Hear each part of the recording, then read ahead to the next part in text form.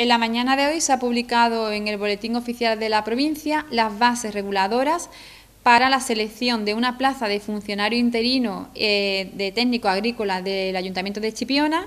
La justificación de esta plaza es porque la persona que venía ocupando este puesto eh, titular pues ya se ha jubilado y tenemos la necesidad imperiosa desde el Departamento de Urbanismo de cubrir esta plaza. Las características de la plaza para las personas que estéis interesadas, pues eh, la naturaleza es personal funcionario, su denominación es ingeniero técnico agrícola, el grupo de clasificación pues es un A2, la escala pues la administración especial eh, subescala técnica y el número de plazas convocadas es una. Las funciones de, esta plaza vienen en la convocatoria que, es pública. Los requisitos de los aspirantes, que es en lo que me centro para aquellas personas, como digo, que estéis interesadas, pues eh, de primero lo que normalmente vienen en, las bases, ser español, ser mayor de edad, por supuesto, pues titulación de grado en, en Ingeniería Técnica Agrícola o la titulación equivalente, poseer la capacidad física y psíquica necesaria para el ejercicio correspondiente a estas funciones, no hallarse inhabilitado ni suspendido para el ejercicio de las funciones públicas y no haber sido separado del servicio de una administración pública, la presentación de las solicitudes, pues debe de cumplimentarse el modelo que figura en el anexo 2, que están, como digo, en las bases y lo podéis descargar. Mm, podrán presentarse pues en el plazo de 20 días naturales contados a partir de mañana, porque hoy es el día que ha salido publicado. El proceso selectivo, que creo que es algo que, os puede interesar a los aspirantes, pues oposición concurso.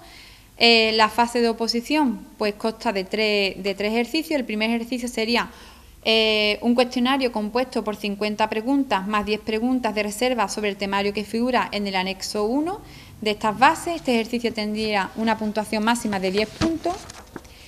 El segundo ejercicio con una, con una puntuación máxima hasta 20 sería pues a desarrollar por escrito durante el periodo máximo de dos horas un tema extraído al azar del temario específico del anexo 1 de las bases y el tercer ejercicio serían pues con un máximo hasta 40 puntos de una o varios supuestos prácticos que se encarga pues de determinar el tribunal. Eh, fases del concurso. Eh, la experiencia profesional se valora con un máximo de 20 puntos y los cursos de formación que se tengan pues se valora con un máximo de 10 puntos. ¿Cómo iría la puntuación de los cursos de formación? Pues para cursos de hasta 50 horas lectivas, 0,50 puntos por cada curso. Para cursos de entre 51 horas y 100 horas lectivas, un punto por cada curso. Y para cursos de entre 101 horas y 150 horas lectivas, dos puntos por curso.